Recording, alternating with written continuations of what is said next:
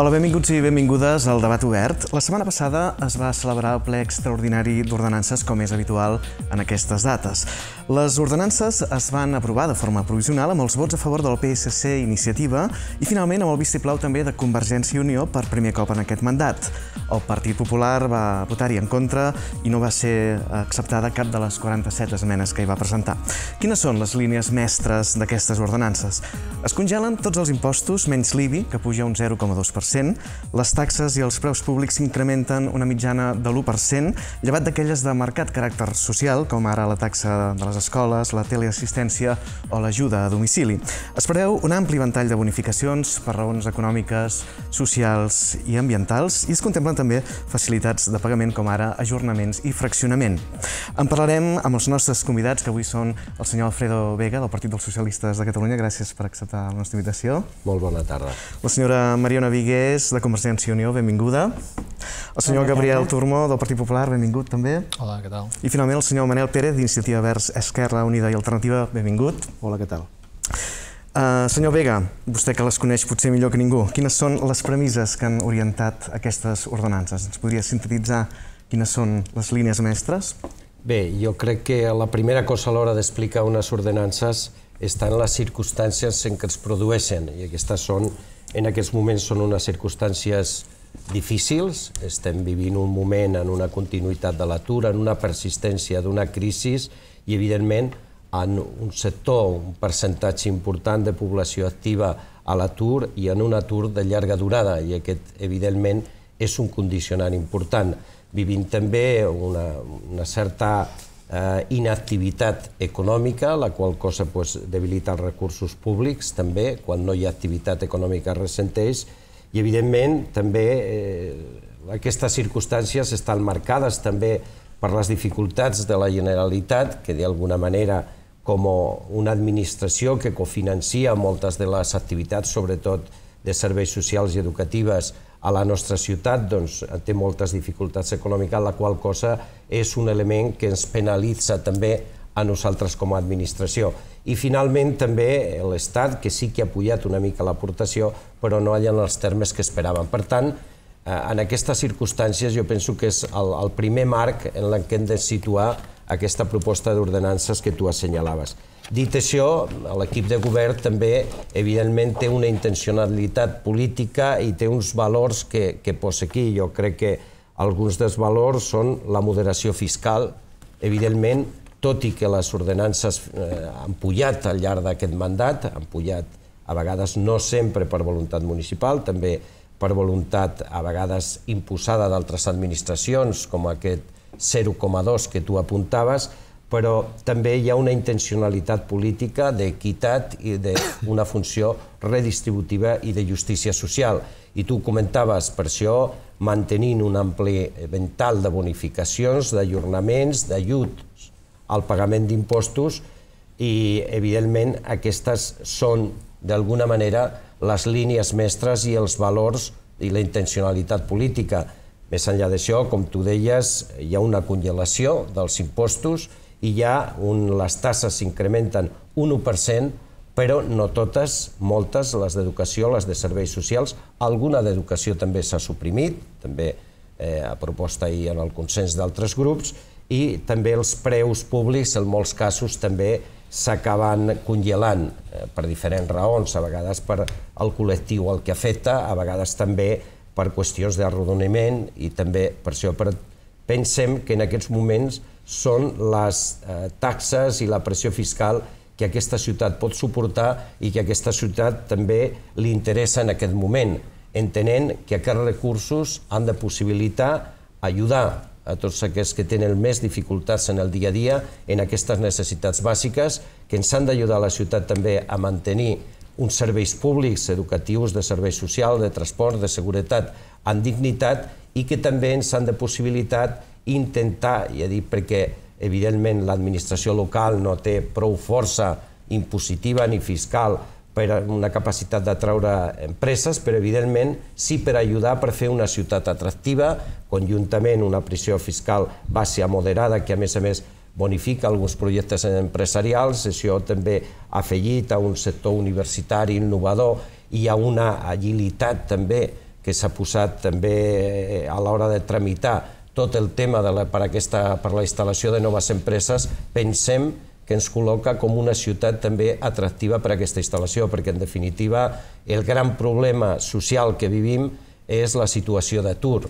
I tot el més, pues, evidentment, requereix solucions immediates, intentem donar-les, però la solució definitiva, evidentment, passa sobretot per aconseguir llocs de treball perquè tothom es pugui guanyar en dignitat eh, doncs, la seva vida. Mm Després hi anirem aprofundint. Uh, senyora Mariona Vigués, la idea inicial de Convergència i Unió era abstenir-se, però finalment van decidir donar el seu vistiplau a aquestes ordenances. A què es deu aquest canvi d'actitud? Mm. Sí, sí, havíem fet públic que el grup municipal havíem plantejat inicialment l'abstenció la, en la votació, però l'equip de govern, en la mesura en què vam presentar doncs, les nostres esmenes, ens va acceptar la majoria de les esmenes i en d'altres en les que no es va comprometre doncs, a estudiar-les, anar-les estudiant.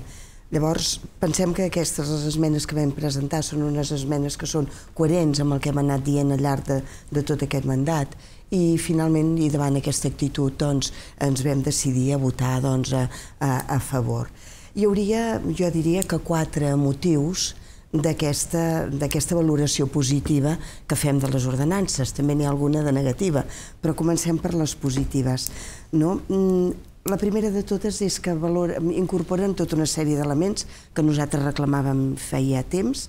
En primer lloc hi ha una congelació dels impostos, com deia el senyor Vega, Després no hi ha una pujada lineal de les taxes, en segon lloc, sinó que al llarg de tot el mandat s'havia fet una pujada lineal als anys 2012, 2013 i 2014 s'havia fet una pujada lineal de les taxes cada any. Enguany s'ha fet una discriminació positiva, en aquelles taxes, en el manteniment, en la congelació d'aquelles taxes més socials, com l'educació i, els, i els serveis socials, escoles municipals de música, la llar, escoles bressol, també els serveis d'ajuts a domicili, teleassistència, els àpats a domicili, així com algunes de promoció econòmica. I fins i tot algunes de promoció econòmica, alguns preus públics doncs, relacionats amb els vivers d'empresa doncs, han baixat. No? I llavors, doncs, clar, això doncs, ha estat per nosaltres positiu.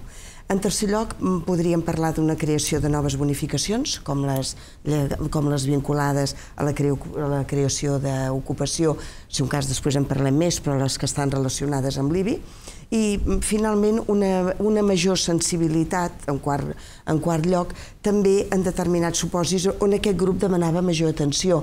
L'escola d'adults, Pensem que la formació doncs, és clau en tota aquesta política d'ocupació, la taxa relacionada també amb l'habitatge per procediments de reagrupament, Bé, tots aquests, tots aquests condicionants doncs, van fer i valorant doncs, el que han estat finalment les ordenances el nostre vot positiu. Si un cas, en el torn de paraules eh, veurem ja quines han estat les qüestions negatives o que no ens agraden tant d'aquestes ordenances. Senyor Turmo, el Partit Popular hi va votar en contra.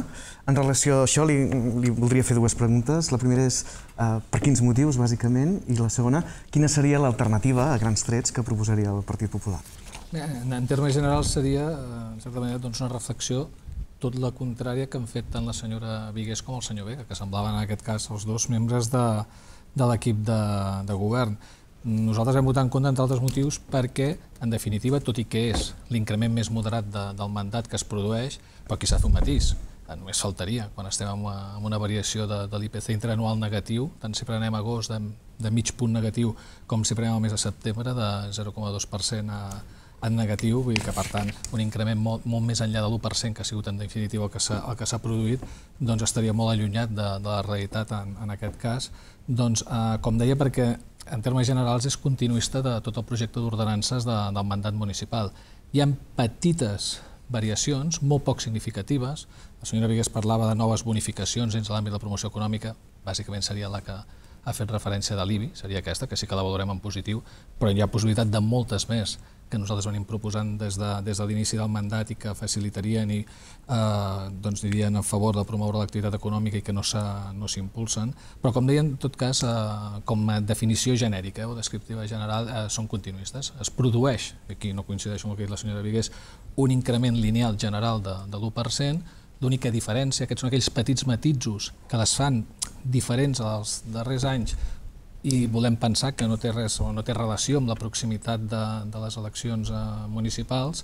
Sí que és cert que es congelen les taxes doncs, eh, de l'àmbit de, de serveis socials, en aquest cas, però la majoria de taxes, la majoria de taxes, és una qüestió d'agafar-ne una, una darrere, o sigui, anar-les seguint totes i, i comprovar si incrementa un 1%, linealment, no hi ha cap mena de discriminació en un sentit o, o en un altre, i respecte a, als impostos, si bé és cert que es produeix aquesta congelació a, a, a la pràctica real, no hem d'oblidar doncs, que en el cas de la plusvalua estava al màxim legal, que en el cas de l'impost sobre construccions doncs, ja estava amb un 3,5% que ja es venia acordant d'altres anys i per tant en definitiva és aplicar el mateix tipus, que evidentment hi estem d'acord, no? Que ja es venia uh, aplicant, i l'única variació estaria amb aquest 0,2% de, de l'IBI, que nosaltres, bueno, via pressupostos, ja tampoc per allargar-me, doncs demanarem que, que es pugui compensar des d'un punt de vista econòmic perquè a la pràctica no es produeixi aquest increment a, a les butxaques dels contribuents. Per tant, ens trobem que amb un increment més moderat que la resta d'anys, segueixen amb la política eh, tributària que s'han vingut caracteritzant durant tot el mandat, que és de l'increment de, dels tributs municipals. Nosaltres, com saben, des, de, des dels inicis hem vingut reclamant una congelació, precisament, com el senyor Vega parlava de, de la situació de crisi econòmica, que evidentment eh, continua, el que ja no estem és en recessió, però també és cert que estem en una situació ja de, de recuperació econòmica que, que no s'ha d'oblidar, eh, veníem reclamant una congelació en general del que són preus públics i, i tributs municipals. Estem a final de mandat, seria l'última, la darrera proposta d'ordenances, i no hem d'oblidar els increments que s'han produït. I en aquest sentit, doncs, si penséssim en la taxa de gestió de residus, s'han incrementat en aquests 4 anys, ja aprovades ara les ordenances, més d'un 15%. Per tant, era el moment i més, tenint en compte doncs, el que abans feia referència a aquesta variació negativa de, de l'IPC, perquè normalment acostumaven a argumentar els increments al voltant de la variació de l'IPC, doncs si l'IPC és negatiu tenen l'oportunitat des d'un punt de vista de l'equip de govern, perquè nosaltres ja entenem que es pot congelar sense aquesta, necessi aquesta necessària variació negativa de congelar, entenem que era el moment per congelar eh, tot el que són tributs municipals d'una banda, són impostos i taxes, i, i els preus públics. Per què? Doncs per evitar incrementar la càrrega impositiva a la ciutadania, perquè es va incrementant des del primer any de, del mandat. En aquest cas un 1%, però altres anys ha estat molt més elevat i aquí hi ha una acumulació d'increments. Per tant, la nostra proposta era d'una banda aquesta congelació general i d'altra banda millorar d'una manera veritable eh, amb les bonificacions i en noves bonificacions adreçades d'una banda a àmbit social i d'altra banda promoció de l'activitat econòmica. Eh, per les 47 esmenes que vam presentar, els dos principals blocs anaven adreçades a aquests dos temes, a aquestes dues temàtiques o àmbits, i no ens van estimar cap, cap esmena. Per tant, eh, difícilment podíem ni acostar-nos a una variació de vot de l'abstenció que vam oferir a l'equip de govern. Sí que els vam dir que, a més, amb, amb els números sobre la taula, l'impacte econòmic era molt petit, congelin, i si congelen tot almenys, doncs, eh, haguessin votat abstenció. Han mostrat una vegada més la seva inflexibilitat en aquest sentit, són unes ordenances, com deia, continuistes, amb la diferència, aquesta sí que és certa, que els increments són, són moderats, però que són acumulats en els darrers tres anys molt elevats. Senyor Pérez, des d'iniciativa es diu que aquests, eh, aquestes ordenances responen a un equilibri entre la voluntat de mantenir la pressió fiscal tradicionalment moderada de la nostra ciutat i la necessitat de garantir els serveis públics, la seva sostenibilitat. Cada vegada és més difícil aconseguir aquest equilibri? és que no oblidem que estem parlant d'un dels debats importants en el, en el si del, del nostre municipi, que aquesta vegada i últimament no el fem conjuntament, hi ha moltíssimes explicacions, estem parlant dels ingressos, d'una part dels ingressos, no de tots els ingressos que rep eh, aquest Ajuntament. Miro el senyor Vega, no sé si el 60 i pico per cent del global dels ingressos eh, que hem de rebre es canalitzen a través de, de les ordenances, via impostos, via taxes, que fa, que fa l'Ajuntament. L'altre percentatge restant o ha de venir de l'Estat, el senyor Vega deia, escoltin, no ens han tractat massa bé, o sigui, esperaven, esperaven més, no ens han tractat massa bé, eh, i en tot cas ja, ja, ja, ja entrarem, o han de venir de la Generalitat de Catalunya. I el senyor Vega deia, escoltin, porteu uns anys que no ens tracten gens bé, sobretot amb aquells serveis en els que eh, hi ha la responsabilitat, les, aquelles competències més o menys eh, compartides. Podem parlar dels serveis socials, podem parlar del, de l'àmbit educatiu, de l'àmbit cultural, aquells serveis, aquell, aquelles actuacions que van dirigides cap a les persones, eh? fonamentalment.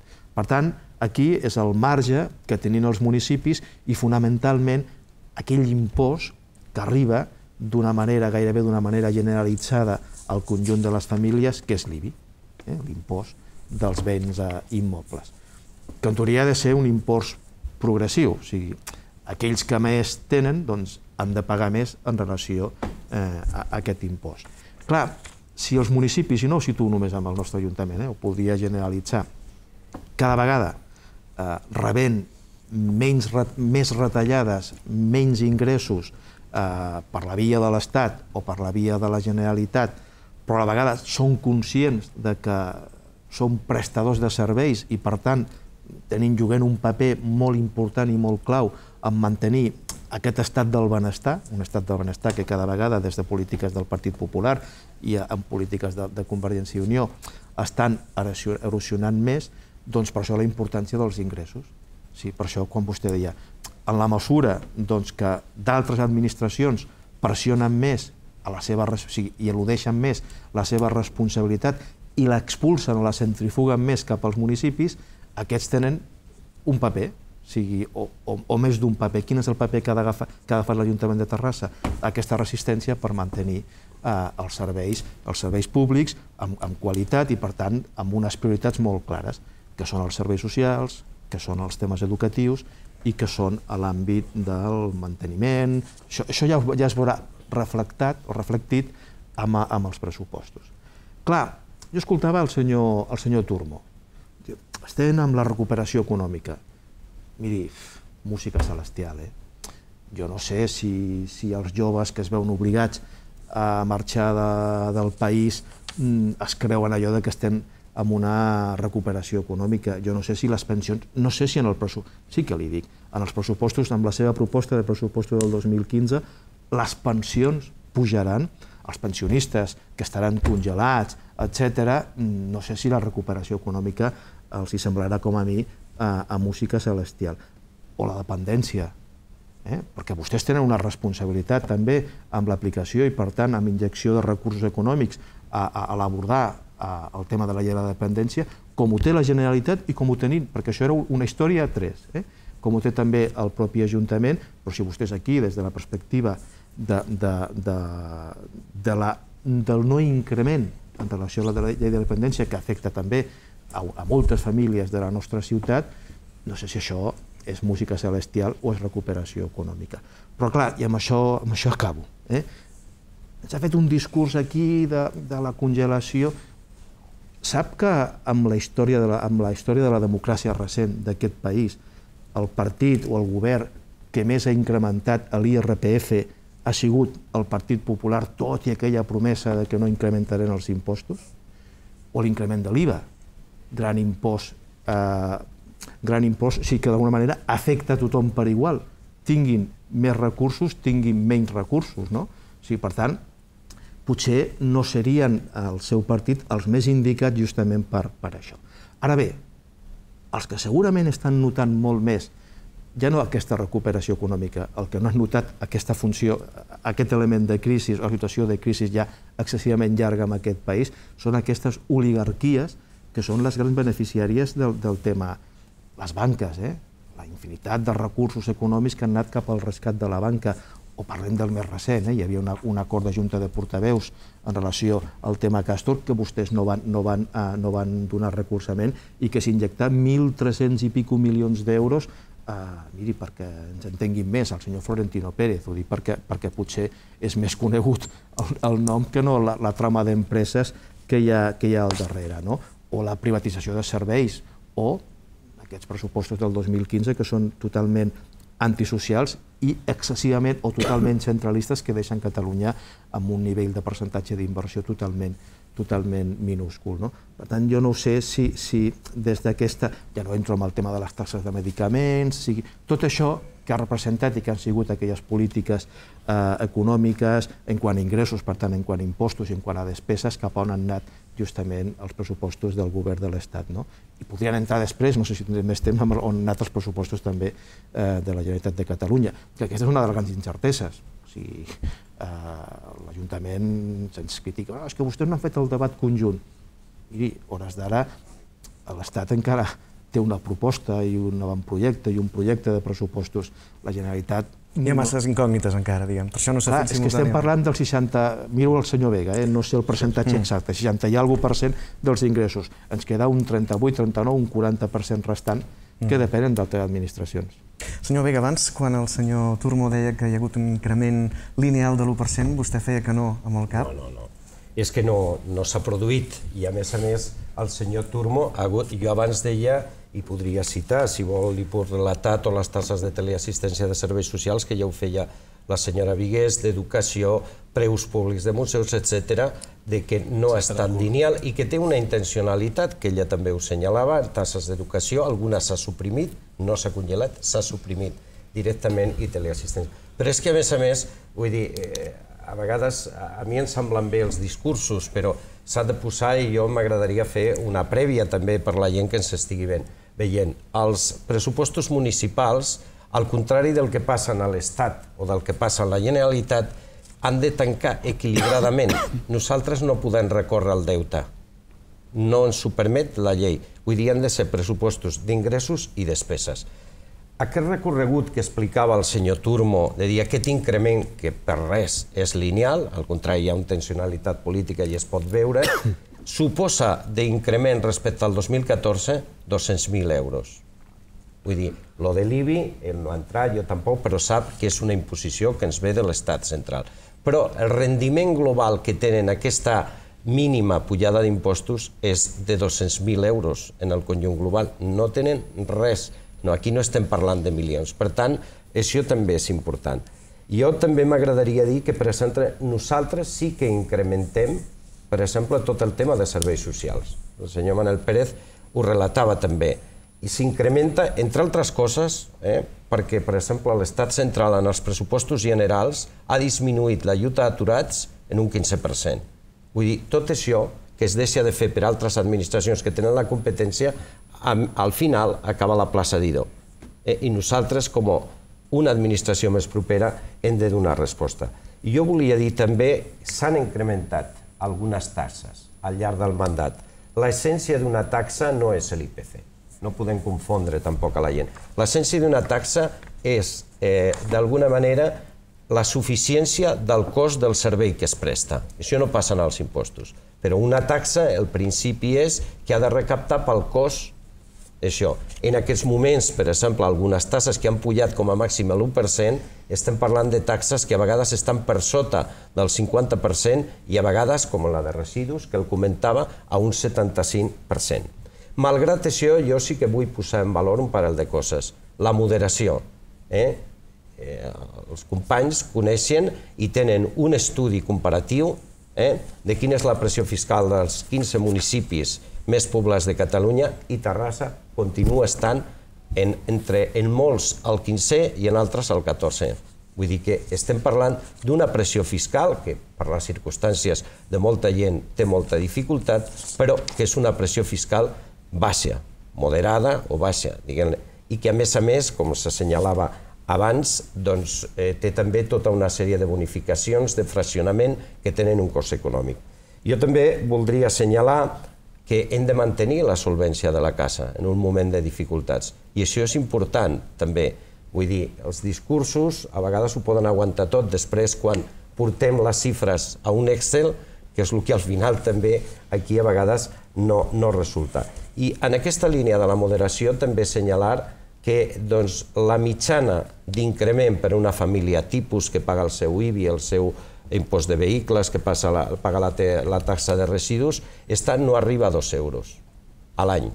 Crec que es pot considerar un increment moderat i no vull eh, allò dir que sigui insignificant. Per molta gent té eh, la, seva, la seva importància, però estem parlant, com dic, d'un augment moderat. Per últim, jo crec també que s'han d'assenyalar novetats. I abans parlaven de novetats en el termes de, de promoció econòmica i també algunes que penso que d'alguna manera ens han fet referent a nivell de tot l'Estat, com la taxa de telefonia mòbil. Eh, esta, aquesta era una taxa que es venia cobrant en funció de la facturació, com és conegut a les eh, empreses de telefonia mòbil la van portar a Europa. Europa va dir que els ajuntaments tenien dret a cobrar-la, però que el sistema de càlcul no era correcte.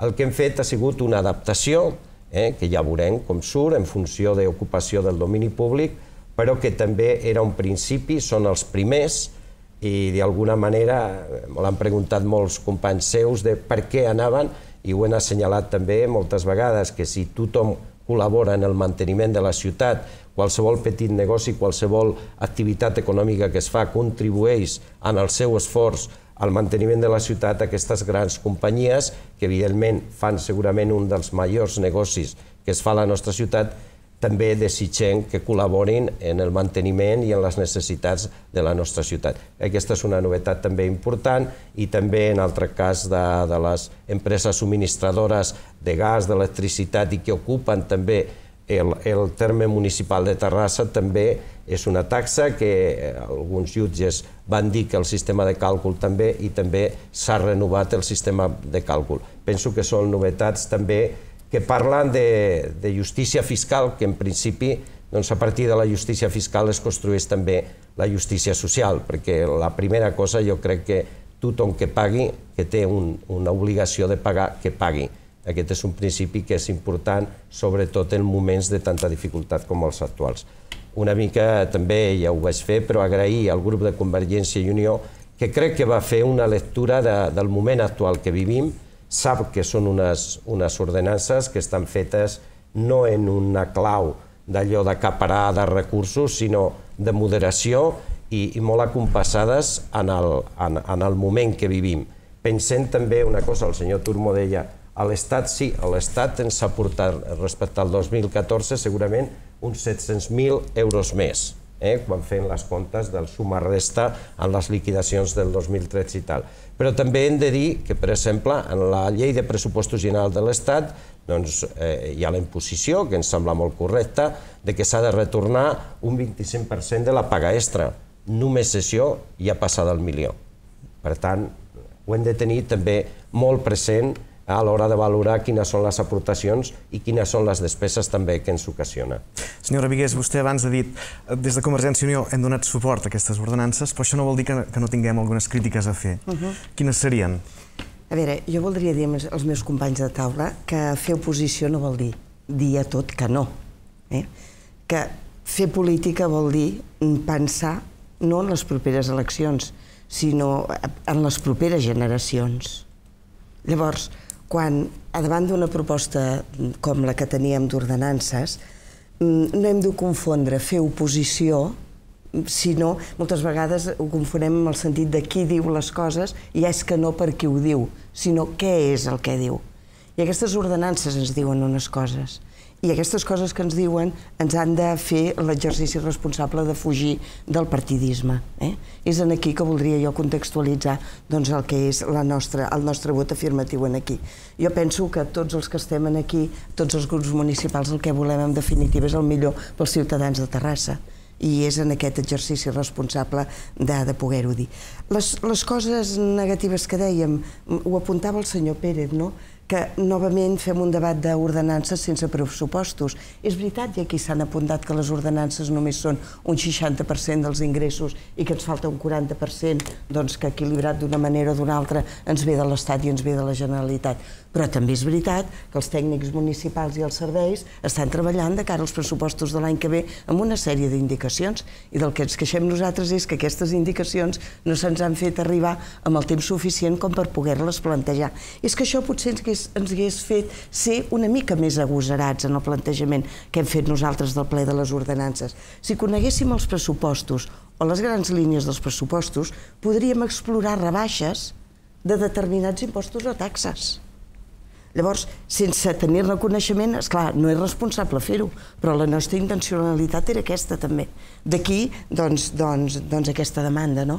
Aquesta demanda de fer amb la mesura doncs, o un debat conjunt o de conèixer les grans línies com estaven, doncs, com estan treballant els, els, els tècnics de la casa, les línies que els hi ha donat l'equip de govern respecte a la confecció dels pressupostos. Uh, la setmana que ve, o aquesta setmana, crec, ja hi ha consells municipals de districte en els que s'explica la ciutadania doncs, la, com anirà la línia de pressupostos. Nosaltres tenim una comissió informativa d'Hisenda doncs, demà, oi? demà dimecres, eh, per, per, per parlar-ne. Però, però, esclar, no tenim massa més informació d'això. Mm -hmm. eh? Senyor Turmó, no va ser acceptada cap de les 47 esmenes que va presentar el Partit Popular. Com, com ho valoren vostès, això? Quina sensació no, els queda? Ho valorem molt negativament perquè és indubtable que de 47 esmenes, si les anéssim llegint una a una, doncs evidentment havia la, si haguessin tingut la suficient flexibilitat, havia la capacitat o si hagués hagut voluntat de, de poder-ne eh, acceptar alguna. No? Però en tot cas ha estat una posició de l'equip de govern general, un cop ens han acceptat alguna esmena, de, de molt tancament respecte a aquelles propostes que, que venen de l'oposició. I aquí lligaríem la reflexió que feia la, la senyora Vigués com del no per no. no nosaltres no votem en contra eh, des d'una clau d'oposició respecte a equip de govern. Fins i tot tinc la sensació a vegades que com si fóssim l'equip de govern a la pràctica, ho dic així en broma, no? perquè sempre les crítiques és com un tripartit en contra del Partit Popular respecte a qualsevol eh, diferència de posicionament i aquesta sensació de com si fóssim l'equip de govern quan no ho som, només som oposició, no tenim capacitat de, de prendre decisions, però veig que certament doncs, es generen moltes coincidències des de l'equip de govern i l'altre grup de l'oposició envers les nostres posicions. No m'ha entès, senyor Turmo, no m'ha entès de res. El nostre compromís és, evidentment, el nostre programa electoral que és el nostre contracte amb la ciutadania i en el que teníem com una de les mesures que sempre i quan les circumstàncies econòmiques ho possibilitéssim, nosaltres plantejaríem la congelació dels tributs. Hem entès que cada cop que ho hem plantejat, clar, com que no s'han congelat mai, era possible dur a terme aquesta congelació i aquesta és la nostra proposta general. El senyor Vega, de fet, penso que hem de una certa contradicció, diu si és que l'augment és tan moderat, és tan moderat, i ens fa aquestes mitjanes que són molt enganyoses per mi de com afectaria, doncs si és tan moderat, perquè ho és de moderat, ja ho hem reconegut que era moderat, i l'impacte econòmic és mínim, congelin. Bé, tenen la capacitat de congelar. I ja els direm d'on treure les partides per eh, compensar aquesta diferència d'ingressos. No hi ha voluntat de congelar. En tot cas, i en funció, perquè vostè em preguntava per les esmenes, però que tinc diferents al·lusions, allò que li deia uh -huh. Endavant, doncs. d'aquest, que és correcte l'expressió síndrome d'equip de govern que ara estic tenint, no? perquè totes les crítiques van envers nosaltres, en respecte al senyor Pérez, eh, estem parlant de la proposta d'ordenances fiscals de Terrassa pel 2015. Evidentment, vostè és molt lliure d'utilitzar els arguments que consideri, però sempre està intentant desviar el debat respecte a qüestions extramunicipals que és el seu discurs. Jo, jo el que li demanaria és que justifiqués, que argumentés en positiu, perquè vostè les ha votat, perquè aquestes propostes, aquesta proposta d'ordenances fiscals és positiva per la ciutat, que nosaltres pensem que no ho és. Però en tot cas, no em compari la situació d'Espanya quan arriba el govern del Partit Popular, que estava pràcticament en fallida i que s'han de prendre mesures dures per recuperar la situació, amb la situació de Terrassa. I això ho lligaré ara amb una espècie de victimisme sempre que hi ha eh, municipal aquí a l'Ajuntament de Terrassa a l'hora de prendre decisions. I en tot cas tampoc distorsiona el que jo he dit. He sigut molt clar. He comentat, la recessió econòmica s'ha acabat, seguim amb una situació de crisi econòmica, jo no dic que s'hagi acabat la situació de crisi econòmica com vostè ha insinuat, hi ha signes de recuperació econòmica que són evidents, és indiscutible, això són les, les matemàtiques i els números. Però retornant al que deia abans del victimisme, des de l'Ajuntament hi ha capacitat per prendre decisions, i en aquest cas per dur a terme polítiques tributàries que siguin les que es consideren necessàries per a la ciutat. Nosaltres pensem que les que ells impulsen, l'equip de govern, no són les, les bones, però sempre a, a l'hora de prendre decisions, o per justificar-se en les seves decisions, que és continuar amb els increments, perquè seguim continuant amb els increments durant els, els 4 anys, eh, llencen pilotes fora respecte a altres administracions. En primer cas, en primer, en primer lloc, precisió. En certa manera el senyor Vega ha vingut a reconèixer. Eh, no, és, no, és, eh, no està en la mateixa situació la Generalitat de Catalunya respecte a incompliments, envers l'Ajuntament de Terrassa, ens deu quasi 20 milions d'euros, que el govern de l'Estat, que no estem parlant d'incompliments, sinó que hi ha una sèrie de, de liquidacions, el que són participacions en els ingressos de l'Estat, però fins i tot en el ple ordinari d'aquest dijous passat es va aprovar doncs, demanar una pròrroga, una ampliació del termini per poder fer les, les devolucions de, d'unes liquidacions que havia saldo negatiu vers l'Estat i que això possibilitarà que l'Ajuntament tingui més liquidesa. És a dir, des del govern de l'Estat es prenen mesures o es possibiliten mesures que milloren la liquidesa de, dels ajuntaments. I aquí una qüestió, el tema de l'equilibri pressupostari és per totes les administracions, senyor Vega. No és només respecte a l'equilibri pressupostari, l'estabilitat pressupostària. Això Vostè sap és, que el seu govern cada any incrementa el dèficit és un objectiu, i, la, és un objectiu les per les administracions. l'Ajuntament no pot tenir dèficit. En tot cas, en relació al victimisme i, i que abans feia, que feia referència des de l'Ajuntament de Terrassa, evidentment es podria impulsar una política, en aquest cas, de congelació. Nosaltres eh, seríem partidistes, com es podia insinuar per aquí, si demanéssim una rebaixa. Pensem que no hi ha, les condicions, seria bo una rebaixa d'impostos a, a nivell local, però no hi ha les condicions. Però per la congelació sí. I per millorar i incrementar bonificacions també. Perquè pensi que hi ha bonificacions, vam posar l'exemple d'una, que és la taxa eh, de gestió de residus, del 10% per creació d'ocu- d'ocupació en el cas d'inici d'activitat, que portem dos anys que no es pot aplicar. És a dir, ningú compleix el conjunt de requisits necessaris, farragosos, sí, podem tenir moltes bonificacions, però molt farragoses perquè es compleixin. Llavors, què demanem? Flexibilitzar aquesta bonificació. Aquesta seria una esmena.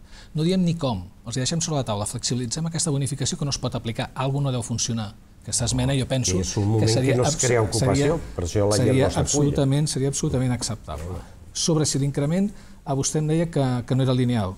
Feu un exercici pràctic. Quantes taxes hi han, per exemple? O no, li diré més, quantes tarifes, perquè cada taxa hi ha moltes tarifes, hi han. Si un 10% de totes les tarifes es congelen, li dono la raó. De totes les tarifes, eh, no les ordenances. Perquè vostè em diu, no hi ha un increment lineal. Clar que hi és. El que passa que han congelat, i aquí sí que destaquem la importància les taxes en l'àmbit de serveis socials, en l'àmbit de l'educació, i alguna altra més. Però les de més s'incrementen un 1%, sí o no? Llevat la, la Algunes, majoria, però, la majoria, però senyor la Vega. essència, com la majoria, deia, vostè la sap que les que s'incrementen un 1% són taxes que al millor algunes, eh, que vostè em senyalava que estan algunes d'esports, estan al 25 i al 30% Aquesta és del preu de cost. Aquesta és una altra qüestió. No, no, no, entrar- no és una qüestió, perquè l'essència d'una quan taxa nosaltres hem entrat amb l'essència de la taxa, I ja vostès... hi ha bonificacions vostès- després pels col·lectius més desafavorits, que vostè ho sap, que s'apliquen. Sí, però també hem demanat millorar les bonificacions i ens han dit que no. En tot cas, per no entrar ara... Però quan comentava també de l'essència d'una taxa, sí, ja sabem quina és l'essència d'una taxa, però vostès s'han justificat en altres moments amb els increments que han acordat prenent la variació de l'IPC. Per tant, els estem dient, bueno, doncs ara prenguin també la variació de l'IPC. És negatiu, no demanem que redueixin, és a dir, que rebaixin, però congelin, perquè hi ha la possibilitat i la capacitat. I des d'un punt de vista de pressupost de l'Ajuntament es, pot, es poden congelar d'una manera general, que seria una mesura molt ben entesa i penso que molt ben rebuda per la ciutadania. A mi aquest argument no és que a final de mes això comportarà eh, aquesta mitjana que m'ha fet. Jo que crec que la ciutadania entendria és a l'Ajuntament, a l'Ajuntament, a final d'any, perdó, a l'Ajuntament vetlla, doncs en aquest cas per evitar un increment de la càrrega impositiva i ha pres una mesura, que potser no és fàcil, de congelació general de tots els tributs, que són impostos, taxes i, i preus públics. I aquesta variació, aquesta diferència econòmica que hi ha, ja la busquem compensar amb altres mesures que hi són i que són possibles. Perquè no hem d'oblidar, insisteixo, que des de l'any 2012 s'han anat incrementant cada any els impostos i els tributs, els tributs locals i els preus públics. I aquesta és una realitat, encara que el senyor Vega també la relativitzi. Però com a mínim, com a mínim i en general, sempre poden haver-hi excepcions, s'han incrementat un 10,5%, com a mínim, tots. A mi em sembla que ha arribat el moment doncs, de prendre una mesura, en aquest cas penso que eh, adreçada a la ciutadania, un gest de l'equip de govern per tota la situació que hem viscut, de crisi econòmica que encara continua i congela. Senyor Pérez.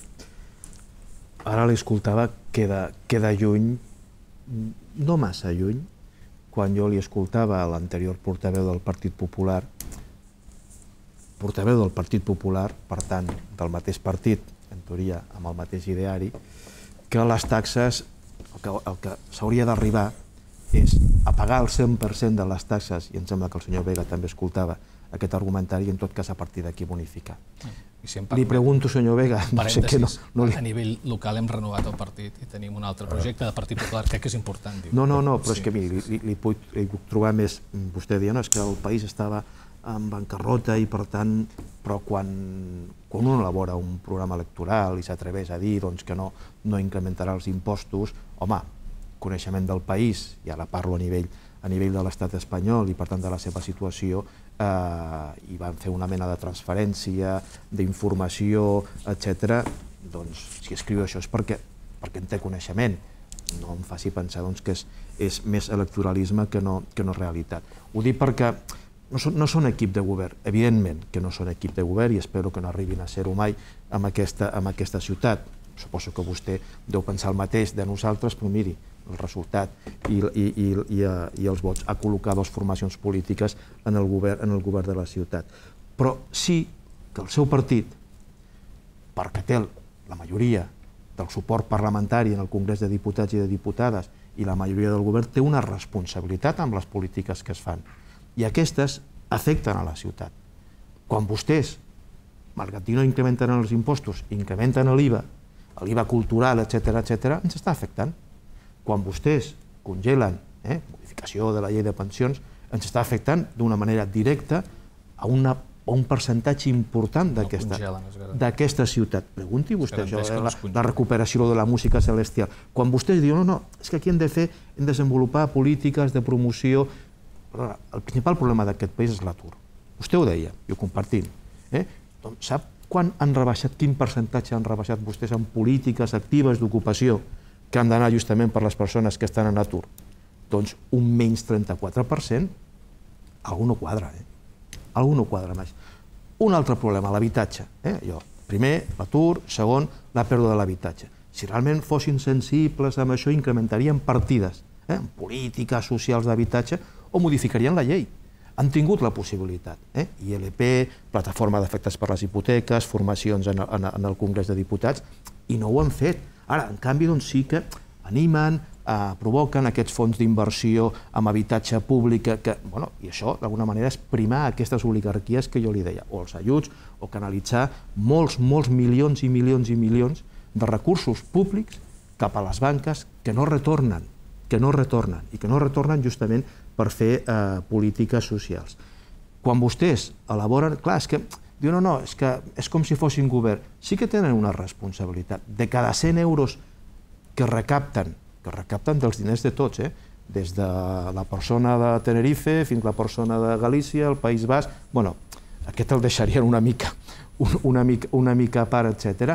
90 d'aquests cada 100 euros se'ls queda l'Estat. Sap qui són els que apliquen les polítiques socials eh, de l'estat de benestar, salut, educació? Que estan transferides. Eh? Educació, sigui, les comunitats autònomes.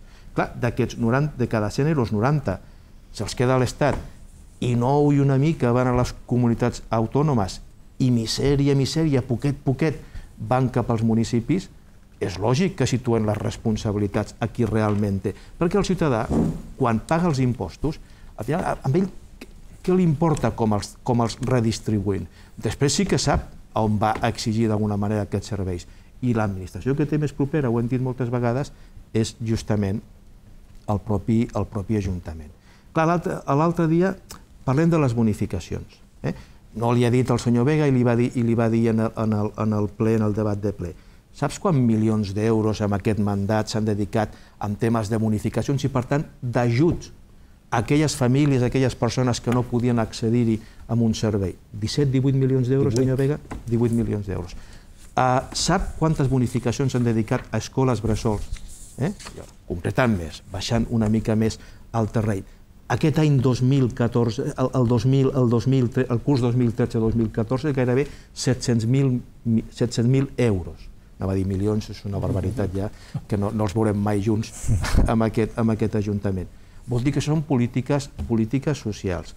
I quan la Generalitat no aporta recursos a les escoles bressols i l'Ajuntament, o escoles bressols, o escola de música, o conservatori, sí que fa un increment, d'alguna manera, escoles bressols congelades amb els, últims, amb els dos últims exercicis eh, pressupostari, vol dir que està carregant a l'esquena a l'esquena de tothom, perquè els diners són, són de tothom, un, tot un seguit de prioritats, de prioritats polítiques.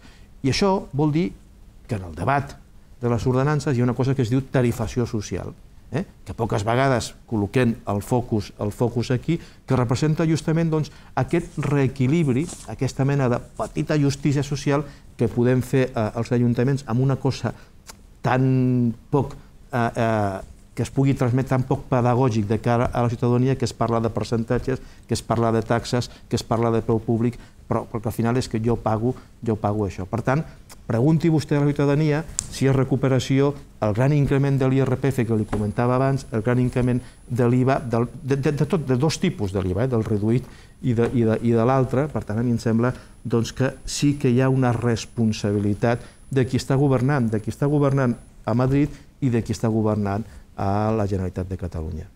Senyors, ens queden sis minuts, senyors i senyora, ens queden sis minuts eh, de programa, de manera que tenim temps per una darrera intervenció de més o menys d'un minut i escaig cadascú. Senyor Vega. Miri, jo el que apuntava la senyora Vigués sap que de bon principi la voluntat de l'equip de govern és fer un debat conjunt. No és possible perquè les incerteses són tan grans que presentarien un pressupost sense rigor. Vull dir, de la Generalitat de Catalunya no tenim ni avantprojecte de l'Estat realment fins ben entrat ja al mes d'octubre, pràcticament al 14 o així, encara no tenien totes les dades. Per tant, això, ens, a més a més, per al recorregut jurídic que tenen les ordenances i, això, i, i el pressupost, que és molt diferent. Per tant, aquest és el motiu, però jo estic d'acord en que és un debat que ens agradaria fer-lo conjuntament. Però fer-lo simplement prioritzar això en totes les incerteses seria presentar, un presentar uns pressupostos d'ordenances sense el rigor que jo crec que han de tenir. Eh, de totes maneres, vostè deia, ja estan en els districtes. Jo els vam tancar pràcticament el dia d'ordenances a primera hora del matí eh, i a la, abans del ple ja els havia enviat. Eh? eh vas fer Bé, el senyor Turmo, és veritat, va presentar 47 esmenes, va retirar una, eh? i en un gest que li honra també, que jo li vull reconèixer, perquè eh, això. Però mm, jo crec que la majoria són mm, propostes que ja ha fet i algunes altres anys ja se li han acceptat. Per això de més i més tarifació, basin vostè la tarifació. Bonificació, incrementen vostè la bonificació. Això, eh, això té un punt que pot desequilibrar i pot posar en perill totes les, l'esquema econòmic i la solvència municipal. I per això no és. Jo també li volia recordar una cosa que deia el senyor Pérez. Aquí fa tres anys ven aprovar propostes de resolució en el vot favorable de tots els grups polítics que els ajuntaments que percebien aproximadament un 13%, 13 i pico per cent, segons els estudis de la Diputació de Barcelona, dels impostos prestaven aproximadament el 29% dels serveis als ciutadans. Per tant, que hi havia un desequilibri. I tots ho reclamaven. Eh? Ara vostè, això sembla oblidat. I una cosa, mire, perquè d'alguna manera vostè m'invita també en aquestes herències. Jo el que vull dir que les polítiques del Partit Popular en l'estat central que afecten els ciutadans de Terrassa han incrementat la desigualtat, això hi ha les dades que ho diuen, han incrementat el deute, en aquests tres anys s'ha passat d'un 67 a un 100% pràcticament, i han incrementat l'atur. En aquests moments hi ha 400.000 aturats, més que quan vostès van arribar.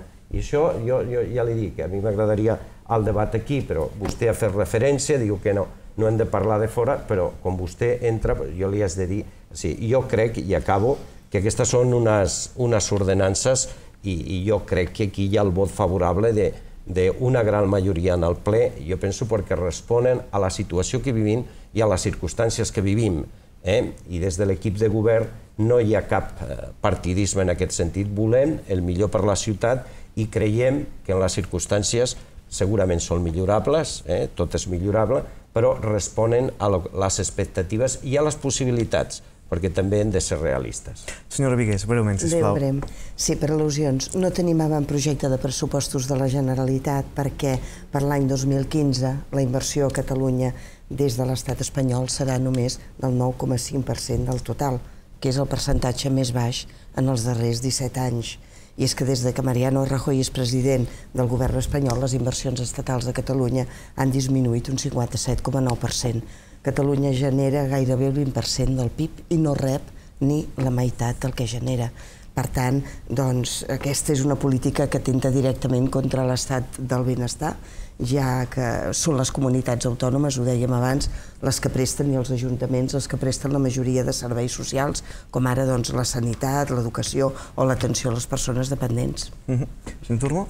Sí, bueno, començant per la part final, no li recordaria ara a la senyora Vigués totes les dades que ha facilitat el meu company en el ple, precisament a ordinari, d'increment de les inversions a Catalunya respecte al que era el, el 2014. Per tant, el 2015 s'incrementen respecte a aquest any i en aquest sentit, si féssim una relació de números global, doncs evidentment eh, no serien certes les asseveracions que, que ha fet. En l'àmbit municipal, miri senyor Vega, molts dels milions que es destinen a l'estructura societària municipal, que en aquests moments doncs, ja s'ha començat afortunadament a reduir, doncs, possibilitarien, evidentment, els equilibris necessaris per aplicar unes polítiques tributàries doncs, eh, que optimitzessin, des del nostre punt de vista, tant les bonificacions com que les milloressin i que possibilitessin una, un acord de, congelació general com, com venim reclamant, i vostè oblida la reforma de l'administració local, que el que pretén precisament és, entre altres coses, racionalitzar a l'administració d'àmbit local, però entre altres resoldre problemàtiques com la que vostè feia referència, de les competències impròpies que venen assumint els, els ajuntaments, que ha estat? Un govern del Partit Popular que ha impulsat una reforma més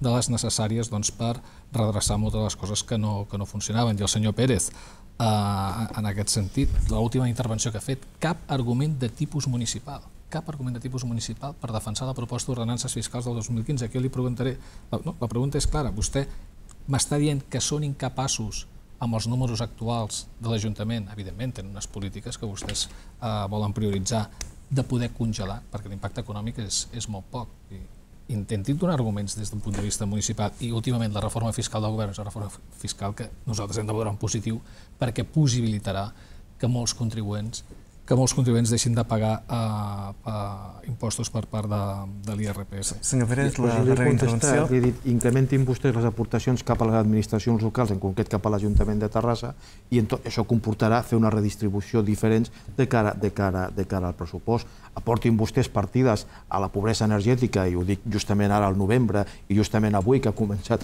realment la tardor de veritat amb, aquest, amb, aquesta, amb aquesta ciutat, i, i a partir d'això, i miri, ara llenço una proposta, una proposta concreta que sembla que... Eh, quants milions dediquen vostès al quart cinturó en el pressupost del 2015 amb aquest... Eh, 12, 12 milions d'una banda. Retiri'l i dediquin a la llei de dependència retiri'l i dediquen a la llei de dependència o dediquen a incrementar pensions. O sigui, aquests 14 milions que vostès... Eh, no, no, no, clar, per, com, a infraestructura innecessària, etc etc. No és innecessària. Ja, ja, ja, Penso sí, que és una demanda des, històrica de la ciutat de Terrassa. Històrica des dels per, anys 50, 60, 70, en els que han governat vostès, en el que ha governat el PSOE, en el que han governat vostès amb, amb complicitat amb Convergència i Unió, què ha governat el PSOE amb, amb complicitat amb Convergència i Unió, no deu ser tan històrica, eh? no deu ser tan històrica quan hi ha un bony, quan hi ha un bony aquí que no té continuïtat fins Olesa i tal. Per tant, miri, aquests 14, 10, 15 és igual, els milions que siguin cap al quart cinturó, dediqui'ns a la llei de la dependència. Moltíssimes gràcies per haver-nos acompanyat i per il·lustrar-nos una mica sobre el tema de les ordenances, que no és precisament fàcil. Eh? El llenguatge en aquests mm, temes és a vegades una mica farragós, una mica feixut, però realment és una qüestió important i per això ens n'hem fet ressò aquí al debat obert. Gràcies, fins una altra ocasió. Gràcies. I a tots vostès, moltíssimes gràcies per la seva atenció.